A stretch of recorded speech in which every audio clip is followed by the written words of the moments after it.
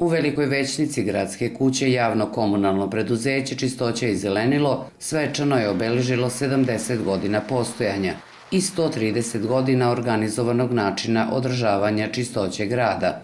Ovom prilikom predstavljena je i monografija koja hronološki dokumentuje početke u ovoj oblasti, a predstavljena je i buduća vizija ovog javno-komunalnog preduzeća. Ona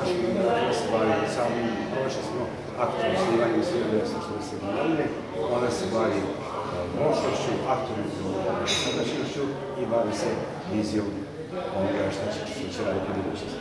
A prvenstveno to je uključivanje u regionalni plan, upravljanje otpadom, očekujemo da počne da radi regionalna deponija i mislim da će na taj način, jer i čisto će biti toliko modern civilizacija, naravno najjednostavno će građani su utice na najmogući bolji način imati tretman otpada Mi smo ove godine uspeli da pokrijemo sve gradske mesne zajednice, podelili smo ukupno 28.000 tipskih kanti, preostaje nam da podelimo to i u prigradskim mesnim zajednicama, ali to zajednice od osnivača i verovatno u toku već imaće godine doći do promjene skupštinske odluke, gde ćemo mi doći polako sukcesivno da uvodimo i prigradske mesne zajednice da budu potrošači kao gradu.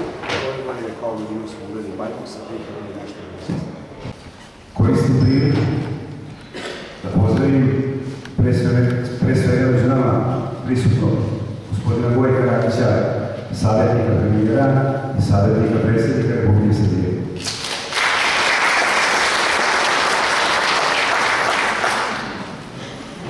Želim da pozdravim sve prisutnike predstavnika našeg osnivača, grad, grada Subotice.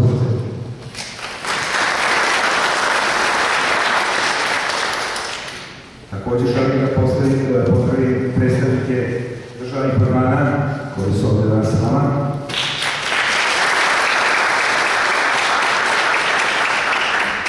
Pokrajinskih institucija, javnih, javno-komunalnih preduzeća i ustanova.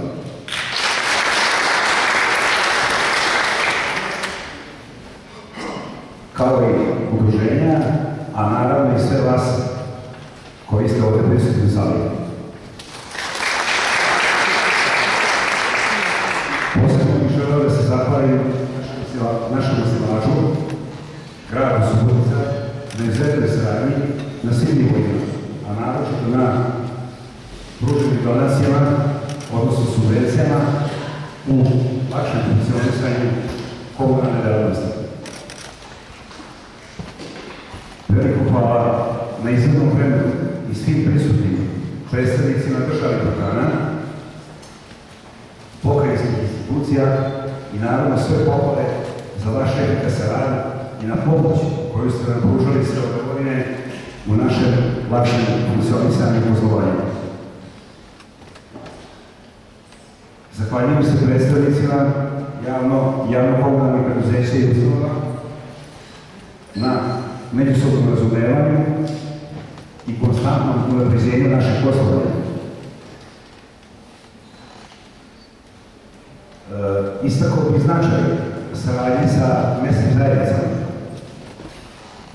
kojima se informišu o potrebama i problemima sa kojima se susreću naši dragi sugrađani i lično smatram da veoma uspešno i zajednički i efikasno rešavamo problema, probleme koji su poslednji.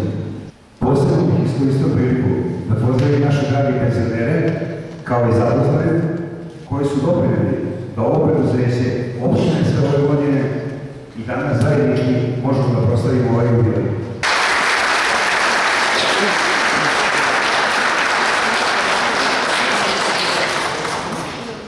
Čini mi izuzetnu čast da mogu iskoristiti ovu priliku i da vas u kratkim crtama upoznam i da vam predstavim današnju ličnu kartu preduzeća, upoznajući vas sa načinom funkcionisanja kao i razmišljanjima kojima se bavimo u cilju unapređenja delatnosti i zaštite životne okoline koju smatramo da smo pozajmili od budućih pokolenja imamo nameru da im vratimo u stanju nešto bolje nego što smo mi uzeli na korištenje.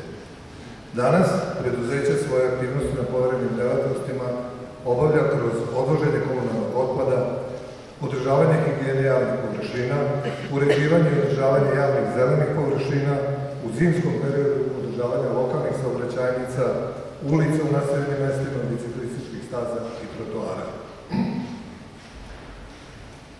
Pored osnovnih delatnosti, delatnost zoohigijene je nešto što upotpunjuje proces rada, kao i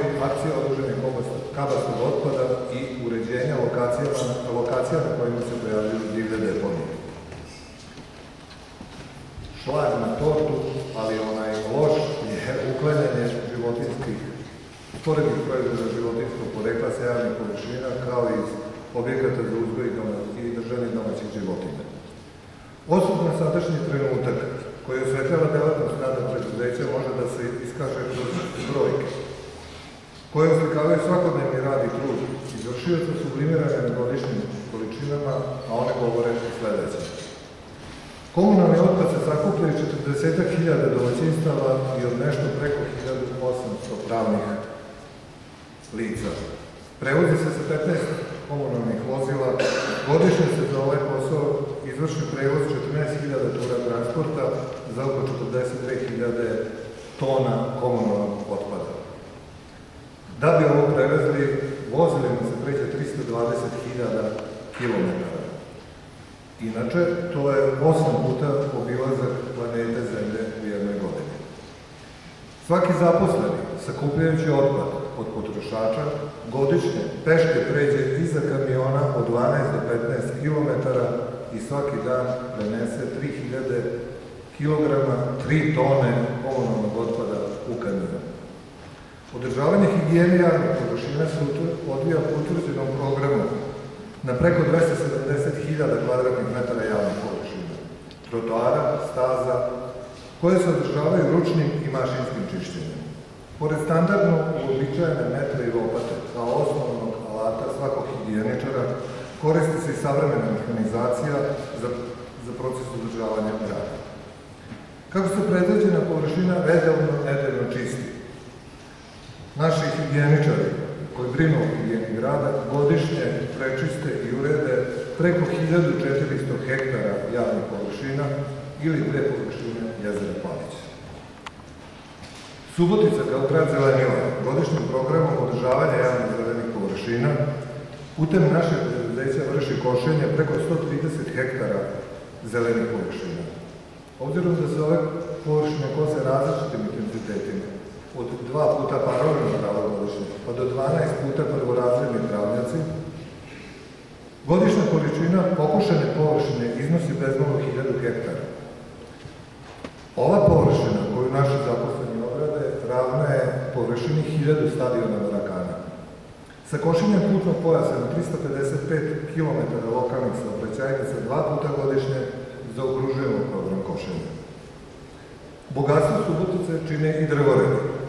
Oni zahtevaju programsko održavanje na 1800 stabala godišnje u vidu rezivanja, uz korišćenje platforme za rad na visini, kao i druge opreme i normalno vrednih ruku naših zaposlenih. Na kraju, ali samo po nabrajanju, neophodno je pomenuti površine pod svetnim rasadom koje se godišnje obnavljaju u vidu sadnje preko 100.000 raznih vrsta cveća sa kojima ulepšavamo naš rad.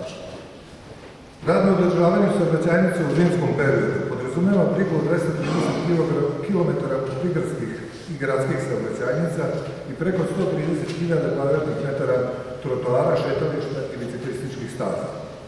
Ovo podrazumeva da se od novembra pa do polovine marta u stalnom dežurstvu i pripravnosti nalazi 25 jedinica opremne i mehanizacije kao i potreban broj zaposlenih koji brinu da grad nesmetano funkcioniše u zimskom periodu.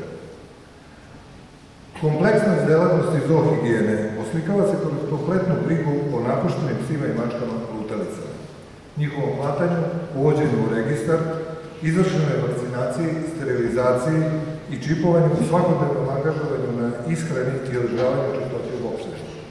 Koliko brinemo o životinjama smeštenim u prihvatilišta ogleda se kroz konstantno ulaganje u objekat i on je trenutno zaokružen kroz smešteni kapacitet za preko 270 pasa, tri volijere za mačke za prihvat 45 mačaka, objekte za izolaciju bolesnih pasa i mačaka, kao i, kao i izgrađenih pratećih objekata.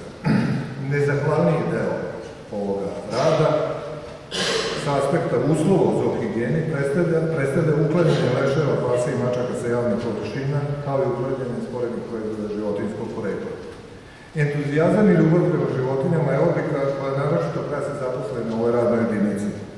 Pokazatelj ovoga je udomljenih stotinjak pasa na godišnjem nivou, koji su prethodno prošli obuku za socijalizaciju koju vrše sami zaposleni. Sve prethodno iznešeno u jedinstvenu celinu zaokružuje se kroz nemedljiv doprinos saradnika u zajedničkim službama koje čine 11% od ukupnog broja zaposlenih. Kompletirajući deo tog ukupnog odnosa prema izgledu grada, neprocenjuje doprinos korisnika naših usluga, naših potrošača, kao i zaposlenih koji su boravili u preduzeću tokom prethodnih 70, odnosno 130 godina, koristim ovu priliku da ime svih nas izrazim duboko poštovanje i zahvalnost. Trenutak u kome obeležavamo značajni period, koji je protekao u radu na održavanju i napređenju ukupnog stanja brige otpada i javnim površinama, daje nam mogućnost da iznesemo pogled iz naše vizure u budućnosti. Ta predviđena budućnost, viđena iz naše ugla, obeležena je spremnim tehničkim dokumentacijama koje otpad ne posmatraju kao balast, nego mogući izvor stvaranja novih vrednosti u vidu proizvodnje iz obnovljivih izvora uz maksimalno poštovanje i uvažavanje njenog veličanstva životne sredine. Pomenuću ovde proizvodnju energije iz biorazgradivog otpada i energije iz mešanog komunalnog otpada. Činjenica da bioenergetski potencijal lokalne samuprave nije zanemarljiv, postavlja pred nas obavezu da intelektualne sposobnosti usmerimo u tom kao i u pravcu cirkularne ekonomije i na taj način stvorimo preduslove i mogućnosti za obavljanje vršenja delatnosti u narednom periodu i eventualno proširenje istih uz održivost sistema. Kako smo do ovog dana došli, uveliko koristići propuštene puteve i stadize naših prethodnika. Naša obaveza je da sledbenicima stvorimo sve preduslove za njihov nastavak i širenje. Nadamo se da će o realizaciji ostvarenim rezultatima ovih i sličnih projekata izveštaj podneti oni posle nas, koji će na nekoj budućoj godišnici o tome obavestiti tada prisutni. Hvala na pažnji.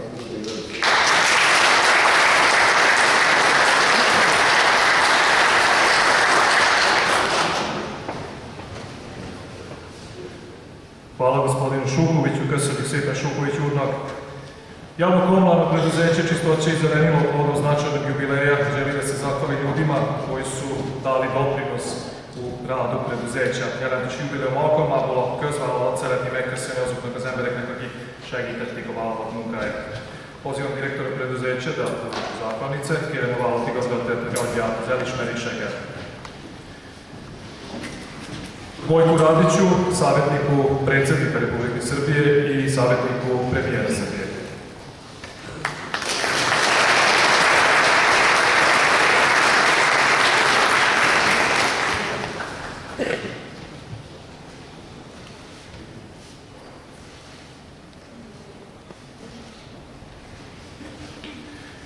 Zahvalnicu dobija i Marijana Cupać, pomoćnica gradonačelnika za oblast komunalne delatnosti i javne preduzeća.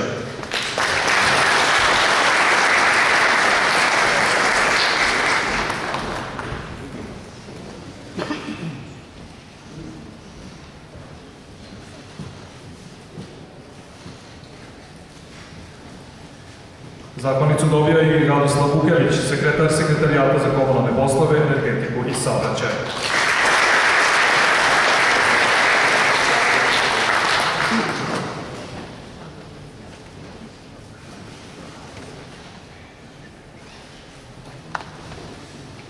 Zahvalnice javnim i javno-komunalnim preduzećima kao i drugim, pojedincima bit će uručene na nastavku svečanosti u hotelu Galerija, a közvállalatok és kommunális közvállalatok, valamint a továbbiegyének számára az ünnepség folytatásában a Galéria Hotelben lesznek átadva az elismerések.